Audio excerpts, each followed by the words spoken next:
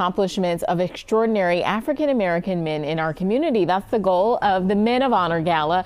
It's set for next month. It's presented by the Abercrombie Group, and this year, five men will be honored for succeeding against all odds and achieving special greatness. Joining me right now with the details are Amy Hull with Paycor and Rashida Cromwell with the Greater Cincinnati Foundation. Thank you both for being here with me. Absolutely. Yes. This is a landmark event that I look forward to every year since I've lived here. It is really done so special, so well. And it, it just is a great community event. What exactly is Men of Honor for people who may not have been before, and how was it created? Yeah, um, it started in 2010. Um, Claudia Abercrombie, who runs the Abercrombie Group, uh, puts this on, and it was a way to portray the accomplishments both professionally and civically for African American men in the community. So it's kind of like a lifetime achievement award, but it was important to do that while they're still here. Mm -hmm. um, you know, give them their flowers while they're alive, uh, kind of idea. And I always call it, it's like the Golden Globes because there's dinner yeah. and awards and music. It's it's a wonderful time. Again, a really great event. And Rashida, I understand that Robert Killen, excuse me, from Greater Cincinnati Foundation is being honored honored.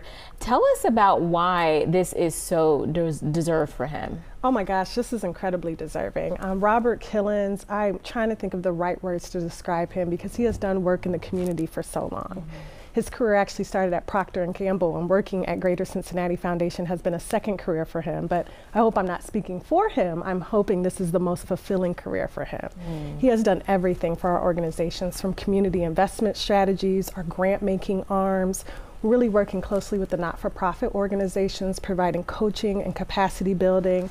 And I think it's so deserving because a lot of what Robert has done throughout his career has been quiet. He is kind of a behind the scenes sort of guy, but he has done so much for the important work that we do at Greater Cincinnati Foundation, everything from education to housing.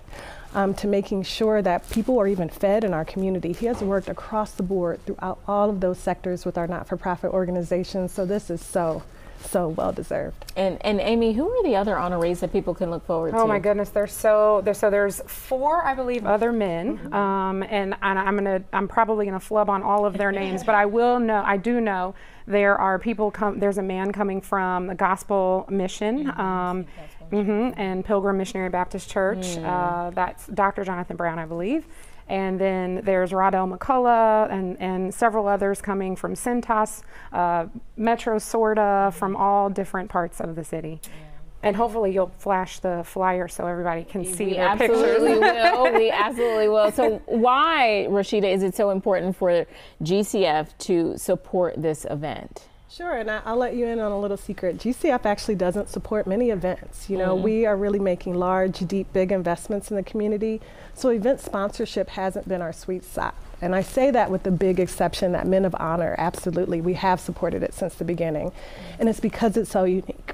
It's really about uplifting and honoring those who are doing the great work.